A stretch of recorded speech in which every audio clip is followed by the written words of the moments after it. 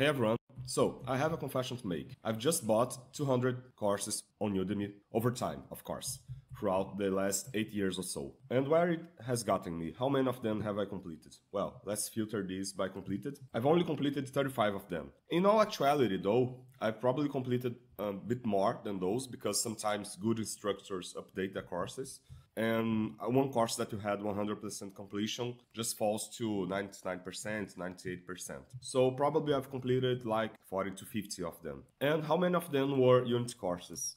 Well, I have 51 Unity courses, and as you can see on this first page already, most of them I haven't completed at all. And why is that? Are they bad courses? No, most likely not. Or sometimes they were indeed, I didn't know better. That's why I'm trying to help you in this video. But what are the criteria? How do I know now which ones to buy and which ones to don't? Well, that's what we'll see in this video. Come on, let's go. Well, we'll be covering those six criteria in this video, and I'm going to put some timestamps below for each one of them so you can just jump straight ahead if you want to. And those are going to be volume of ratings, previous course rating, is it up to date, do you like the structure, does it seem to be around, and code quality. Some of them are easier to measure, some of them are harder, but I hope I'll help you in each one of them. Let's begin. The first thing that I do is that I come here over at udemy.com and just search for a Unity normally, like a normal person would. But instead of looking at the most relevant, because it's a, mm, an internal obscure criteria that Udemy has, I just sort by newest, because like this I have a strong indicator that this is up to date. And I start looking. I start looking for some courses that pique my interest. Let's open five of them and analyze them with all those criteria so we can understand a little bit better. I like this one, this build NFT metaverse. I like this one, this Unity third person combat and traversal. Uh, I probably like this one, this Unity mega course. I like this one, learn to create a tower defense game. And let's see this one, Ultimate Game AI for Unity beginners. Alright, so we're going to be analyzing five, we're going to be analyzing those five courses throughout this video just to illustrate my points. And hopefully you can spare your money like I didn't over time. the first one of them is going to be this one, Build an NFT Metaverse with Unity on Algorand. So how do I go about it? Well, first thing, we have the volume of ratings. In this case, we have no rating whatsoever. It's a very new course. So what should I do? Well, in this case, if I'm going through the other criteria, I find it a nice match, I'm going to favorite it, put it in my wish list, and then be looking for it throughout the weeks so I can see how it goes on ratings. Because ratings for me is like the number one and strongest volume of ratings, is the strongest indicator for me throughout the years. Okay, previous cost ratings then. Let's go to the creator and look at his previous courses. He has 74 courses. All right, all right. That's a lot of courses he has created. He has created Unity 3 course, no, no coding, build and market video games fast, Apple TV apps, converting, uh, nah, nah. So we can see that he isn't exclusively making Unity courses. He makes other types of courses. And his other types of courses are terrible because anything below 4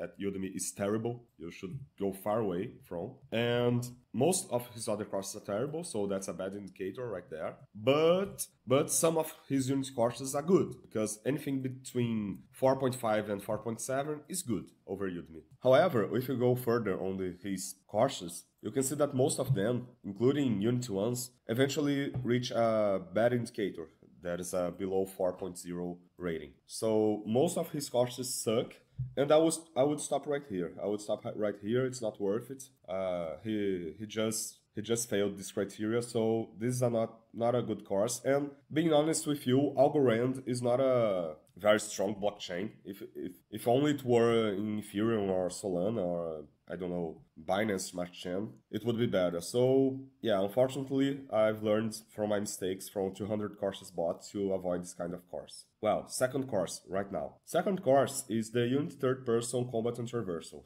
a bit of spoiler here because I bought this course already. But why did I do it? Well, first of all, the rating. This is 4.7 and do you remember that I said that anything between 4.5 and 4.7 is a good course? And it's indeed a good course. The volume of rating means that although it's 4.7, we must consider how many ratings it has. And one good rule of thumb is to look at how many ratings it has and add one one new rating with the lowest and the highest possible scores and see how it shakes the score. Uh, what do I mean by this? Let's consider we have let's open Sublime Text over here. Let's consider we have a course like this, course like this, volume of ratings, uh, a five rate, a five star rating, but but only three reviews.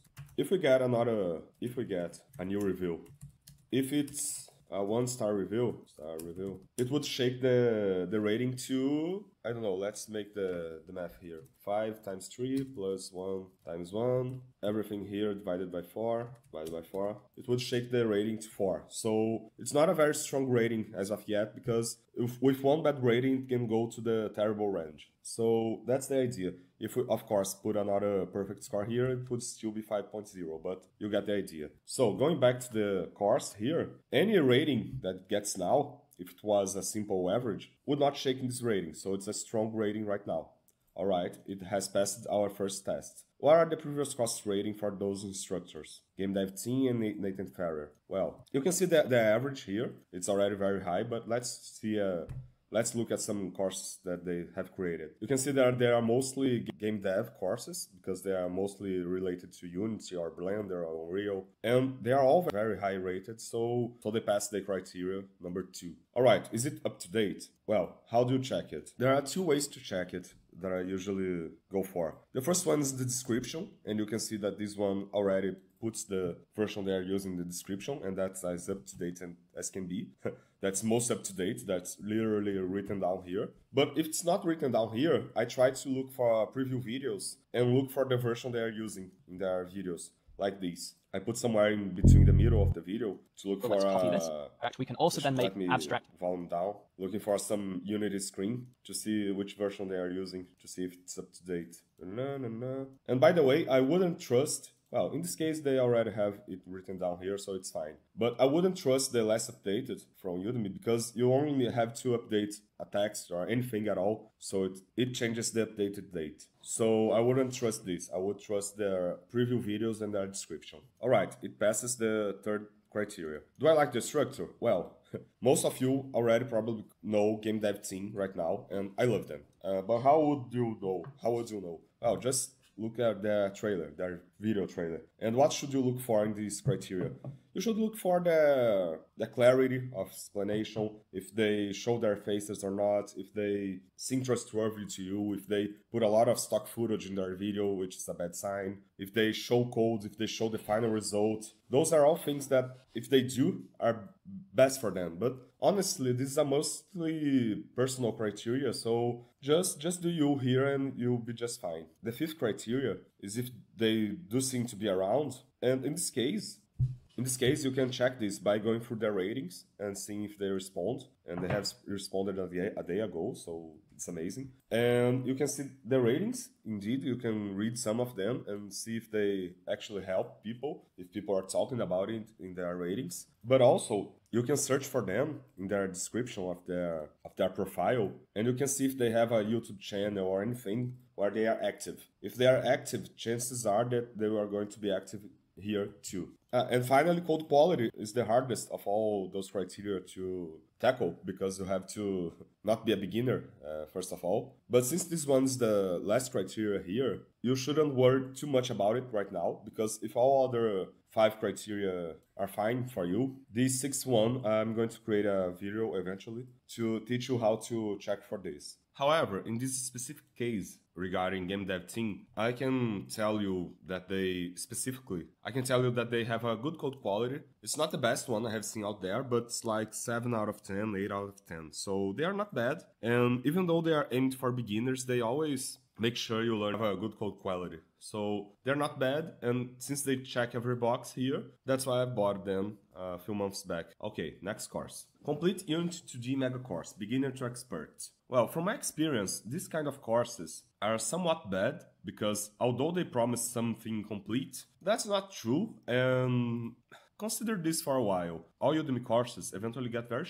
cheap because that's a policy that Udemy has and you can't compete with an expensive course. And why would you ever make a long course with good quality for cheap, you know. There are a few exceptions here and there. Rob Ager is a very strong exception in this case, but this guy I haven't seen him ever. So I don't know, I'm skeptical right from the get-go with this. And again, he doesn't have any reviews yet, so I don't know what to expect. So let's check his profile. Well, his profile is not quite bad, however. Let's see why. Let's see what kind of courses does he create, usually. Well, you can see that he doesn't usually create game development courses. He creates some design and creative courses, some Adobe Premiere stuff. So it's kind of curious that he's tackling, ah, he has created an Unreal course a while ago, alright? And this seems to be his first Unity course. So I'm still a little bit skeptical, but he has passed the second check here. Okay, is it up to date? Let's use our way to find out. Well, he doesn't mention anything about the version he uses here, so let's see in his trailer if we can find something. Yada yada yada. That's a bad sign, because I was expecting some guy here, and I'm seeing uh, someone that is not in the picture. So it probably is a group of teachers, and that's not usually the best thing you want. But that's okay. Game dev team does the same, and I'm not complaining. Let's see. Okay, he used Unity 2020.3. So that's not the most up to date ever, but that's not obsolete, however. So that's uh okay, okay. That's half half as good. Let's look at the next criteria. Do I like the structure? Well, not quite, because I was thinking it was this guy, and now it is this woman here that I don't know nothing about. So who are you, and why should I listen to you? That's, I mean, and they are following one bad practice here for me that they are not showing the end result. I mean, I guess they are showing here, but that's probably the first game ever we're going to make. Yeah, that's Pong. So to make Pong, it's like I can teach you that for free on over here YouTube. If you like it, by the way, comment below there. I'll, I'll create it for you. And the other one that they have shown here, well, well, well, what's this? It looks like a platformer game, but very simplistic one. So I don't know. I, I wouldn't put my chips here. So yeah, that overall it's looking eh, kind of meh. Does it seem to be around? Well, who are these guys? Creativity Unleashed. Well, as we saw earlier, they are groups, so I don't know if they are around yet. That's confusing to me. I'm not interested in searching them over uh, other social media because I'm already not liking so much what I'm seeing. So yeah, so far I don't like them. And code quality, how can I tell right now? I, I, I don't. So overall, I'm not feeling so good about it. I'm not even going to wishlist it for later. So I see how the rating goes because I haven't liked what I saw. So that's a big no for this course. The next one, learn to create a tower defense game with Unity and C Sharp. All right, the rating is strong, 4.8 over at Udemy. Anything from 4.8 and above is a great course. It's it's better than a good course, of course. And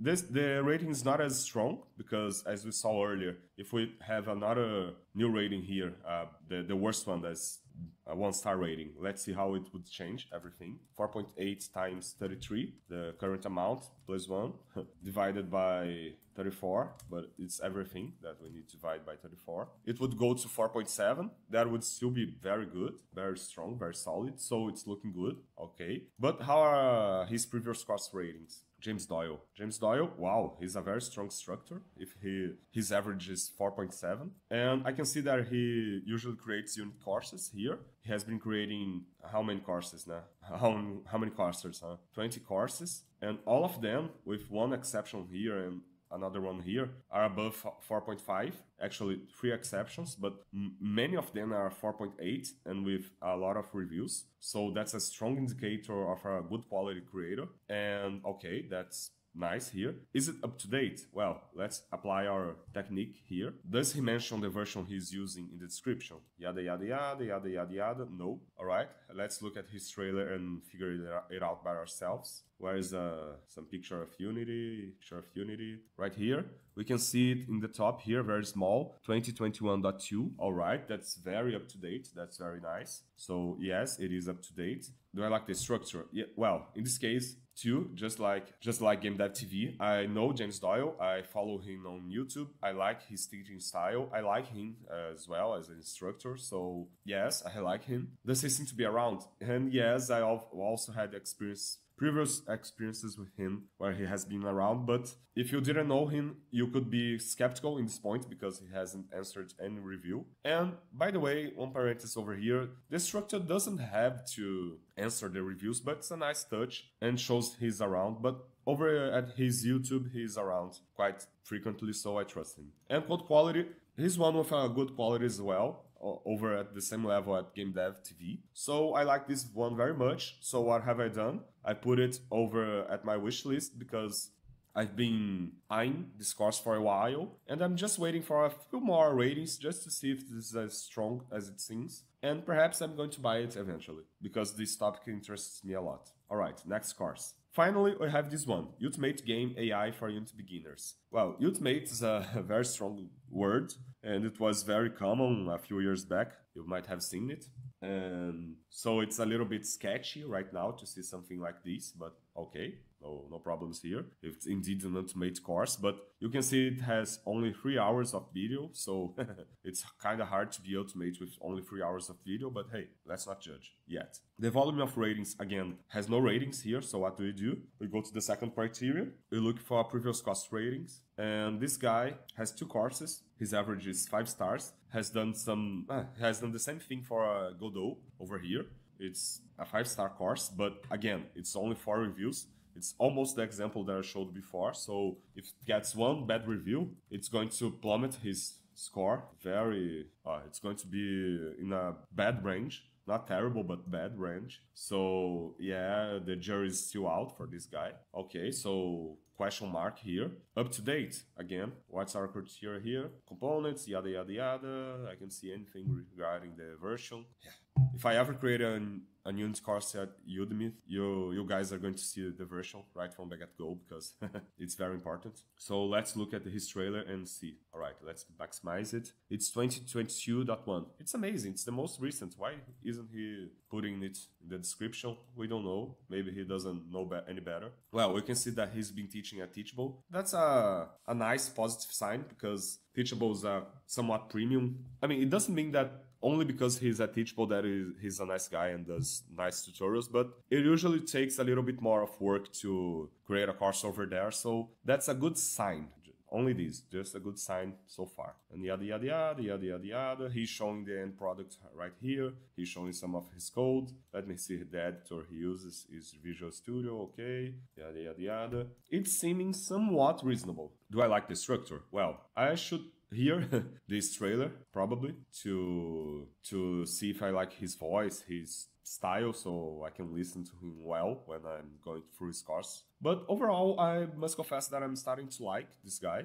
Let's let's hear him a little bit. Unity game with a drop of AI, you can tremendously improve your player's experience. By the end of this course, you'll implement your own game AI. When purchasing the Ultimate Unity Game AI for beginners, you will immediately gain access to a wide range of lessons that focus on decision making, pathfinding, and compete and control. Find out the foundations of game AI, learn how it works, and how you can implement your own finite state machine. Discover how pathfinding generates a list of positions from A to B, avoiding obstacles and enemies. Uncover the secrets of various sensors such as range, field of view, raycasting, and heat detection. Lastly, no AI can be completed without proper communication between the agents. And this is not all. You will also gain access to the full Game AI project that this course is based on. Discover how everything fits together and how you can make your own game. Most modules in the project are usable and can be easily repurposed for your own projects. The best part, we will not be using any paid assets as all the functionalities are already implemented with the tools provided provided by the engine. What are you waiting for? Yeah, I, I liked his voice, his style, his promise. He has shown most of the lessons that we're going to go through, and he has let, let, let us see. Has a lot of preview lessons. Well, not so many actually. But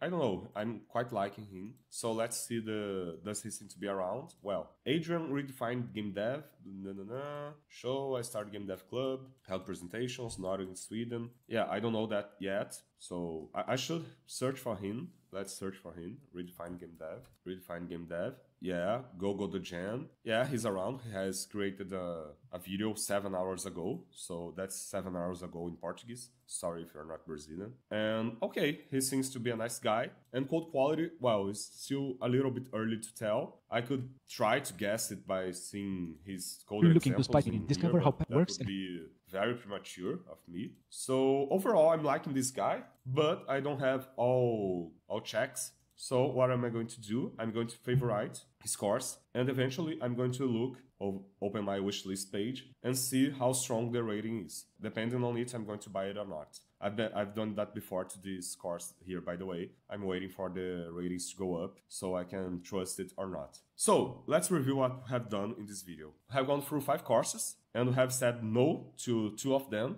This one was the first one. Have said no to this one. Have said yes to this one. Have said yes to two of them. No to this one. Yes to this one. And maybe to a final one that was this one, the Ultimate Game AI for beginners. I have done this going through these six criteria. I know that I haven't covered code quality at all, but trust me on this one because it's a little bit longer and you are going to need a full video on this one later. But with the other five have filtered successfully some courses and I hope, I really hope in my heart that you can now filter your courses at Udemy so you don't spend so much money like I have done. And if you like it, please give it a like. It has been one of my longest videos so far to create. And if you like these kind of videos and other game development videos, Unity tutorials, and many things in between. Please consider subscribing because this channel is all about it. And thanks a lot for watching to the end. If you'd like for me to create a unique course at Udemy, please comment below as well because that would warm my heart and I would indeed create one for you guys. And that's it. See you. Bye.